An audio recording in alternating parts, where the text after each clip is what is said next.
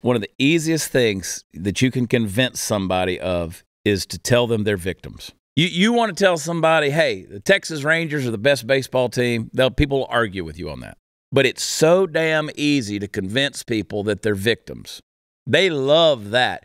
People don't want their problems solved. They want their problems understood because if you take away somebody's problems, they lose their sense of identity.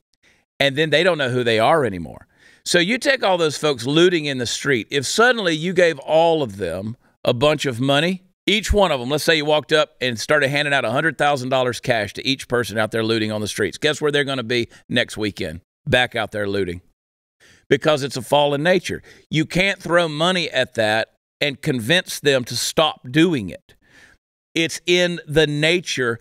And this isn't a black issue. This isn't a, a, whatever cultural issue like that. This is a human heart issue.